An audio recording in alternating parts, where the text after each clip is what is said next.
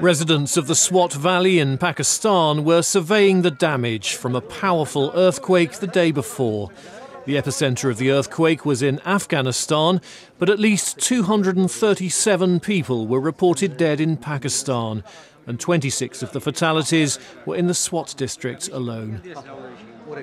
Many of the casualties have been in remote areas, which can only be reached by Pakistani military helicopters.